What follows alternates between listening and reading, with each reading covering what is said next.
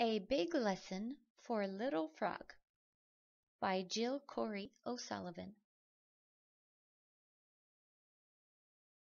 Little Frog looks up. He sees Monkey in a tree. Monkey says, Look at me! I can swing through the trees. Can you swing too? Little Frog says, No, I can't swing through the trees. Parrot flies down to the tree. Parrot says, Look at me! I can fly from tree to tree. Can you fly too? Little Frog says, No, I can't fly.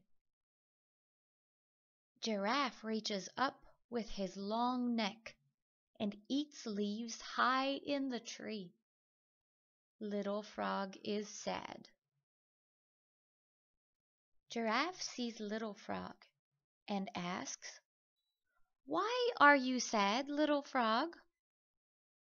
Little Frog says, Monkey can swing, Parrot can fly, you can eat leaves high in the tree.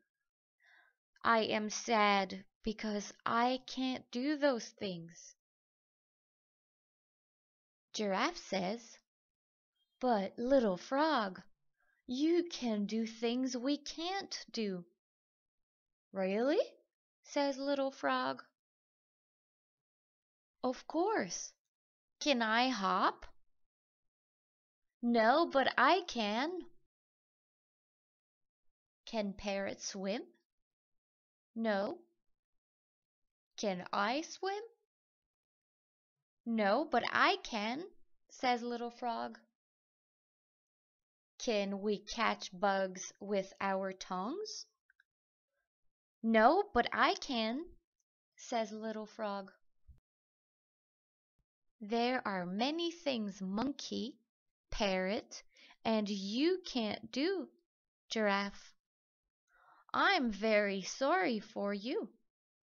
Please don't be sad. Little Frog is happy now. He hops away to swim and to catch bugs.